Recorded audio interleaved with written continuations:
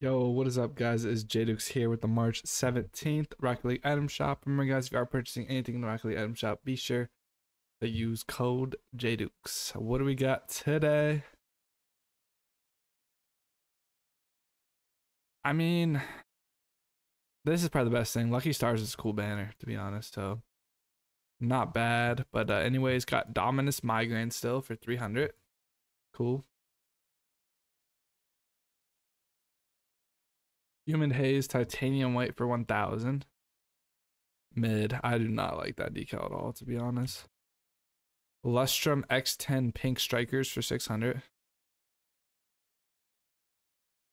Cool. Rasian Lime Wheels for 900. Ugh, these are not good looking wheels. Why are they in lime too? Lucky Stars banner. This is honestly the best thing of the day. I don't like it. Polygonal forest green for 300. Personally would not use that. Canister purple score wheels for 150. Power shot purple playmaker for 600. Mid. Mid.